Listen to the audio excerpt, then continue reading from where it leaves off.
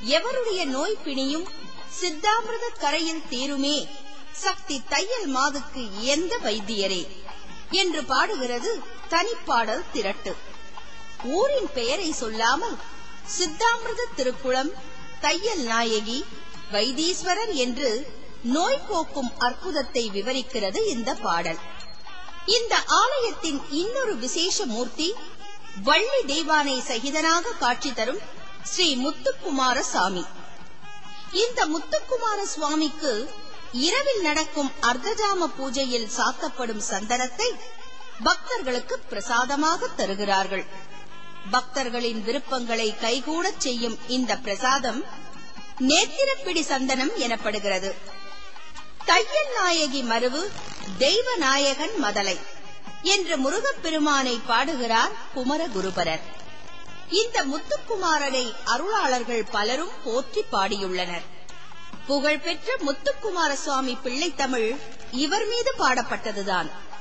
இந்த ஆலயத்தின் இன்னொரு முக்கிய மூர்த்தி அங்காரகன் எனப்படும் செவ்வாய். குஜன் பௌமன் மங்களன் ரத்தவர்ணன் செம்மீன் என்றெல்லாம் சொல்லப்படும் செவ்வாய் ஜோதிட சாஸ்திரத்தில் ரத்தத்தின் தன்மையை உடன்பிறப்புகளை துணிவை கடன் விவகாரங்களை கண்டறியக்கூடியவராக விளங்குகிறார். ஏழு ஆண்டுகளை கொண்டு விளங்குவது செவ்வாயின் திசை. ஒருவரின் ஜாதகத்தில் நான்கு ஏழு எட்டு பனிரெண்டு ஆகிய இடங்களில் செவ்வாய் இருந்தால் அதை செவ்வாய் தோஷம் என்று ஜோதிடத்தில் சொல்வார்கள். இந்த செவ்வாய் தோஷத்தால் திருமண வாழ்வு தடைப்படுவது அமையாமலே போவது ஆகியவற்றை காண முடிகிறது. நடைமுறை வாழ்வில் காணும் வீடு மனை விபத்து அறுவை சிகிச்சை இதற்கான அடையாளமாக விளங்குபவர் செவ்வாய்தான். செவ்வாய்க்கிழமைகளில் மங்களனான செவ்வாய்க்கு சிவப்பு நிறத்தில் வஸ்திரம் அணிவித்து செந்நிற பூக்களால் மாலை சூட்டி அர்ச்சிப்பது விசேஷமான பலன் தரக்கூடியது. இந்த செவ்வாயின் இன்னொன்னு எது தெரியுமா? அறுபடை வீடுகள்ல மூன்றாம் படை வீடு பழனி. முருகப்பெருமான் ஆண்டி கோலத்துல தவ கோலத்துல காட்சி கொடுக்கிற இடம் பழனி. போகநாதர் புலிப்பாணி ஆகிய இரண்டு சித்தர்களுடைய வரலாற்றிலையும் முக்கியமான திருத்தலமா இருக்கிற பழனியை வணங்குவோம். போகநாதர் புலிப்பாணி அருள் பெறுவோம். முருகனுடைய அருள் பெறுவோம். செவ்வாயுடைய அருளையும் பெறுவோம். வாருங்கள். முருகனுக்கு படை வீடுகள் ஆறு மட்டுமல்ல. ரத்தினகிரி குன்றக்குடி விராலிமலை இளஞ்சி என்று எவ்வளவோ திருத்தலங்கள் உள்ளன. இவை அனைத்துமே சிறப்பானதுதான் என்றாலும் செவ்வாயின் அருளை அள்ளி வழங்கும் விசேஷ தலம் ஒன்று உண்டு. அது பழனி.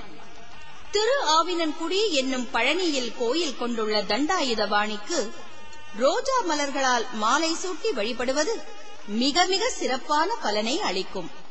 செவ்வேளான தண்டபாணிதான் செம்மீனான செவ்வாய்க்குரிய பலன்களை வாரி வழங்குபவர்.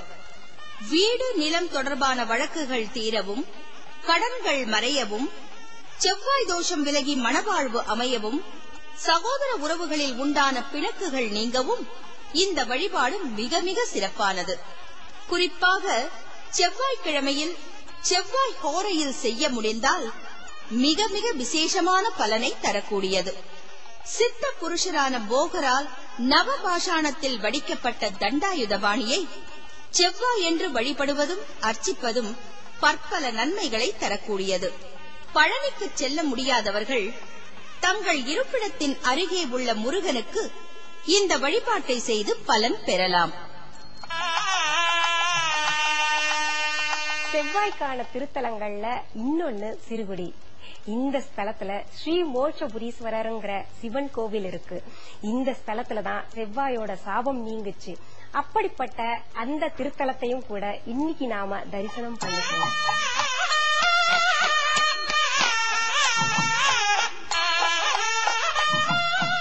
வைத்தீஸ்வரன் கோவிலை போன்றே செவ்வாய் வழிபட்ட இன்னொரு தலம் திருச்சிறுகுடி. செருகுடி என்று வழக்கில் இன்று சொல்லப்படும் இந்த தலம் திருவாரூர் மாவட்டம் நன்னிலம் வட்டத்தில் இருக்கிறது.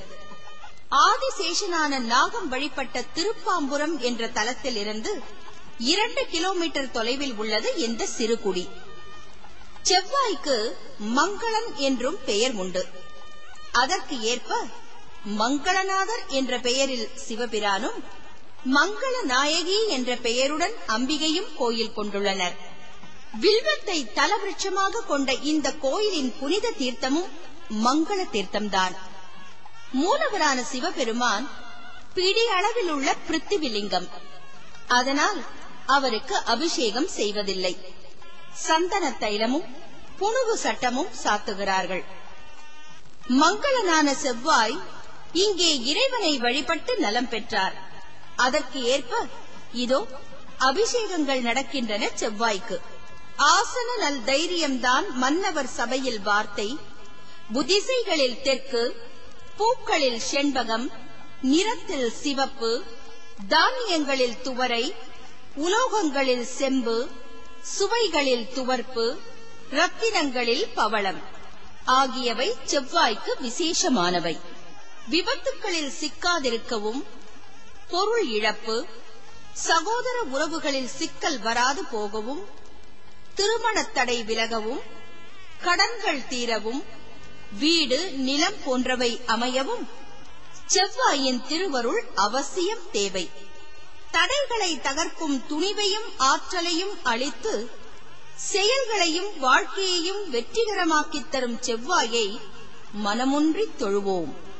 அங்காரகாய வித்மகே ரத்த வர்ணாய தீமகி தன்னோ பௌம பிரச்சோதயாத். என்ற செவ்வாயின் காயத்ரி மந்திரத்தை எப்போதும் சொல்வோம் எப்போதும் வெல்வோம். ஓம் மங்களாய நமக. அடே அப்பா போகநாதர் புலிப்பாணியின் பெருமைகள் என்ன? பழனியின் சிறப்புகள் என்ன? முருகப் பெருமானின் கருணை என்ன? அருள் என்ன?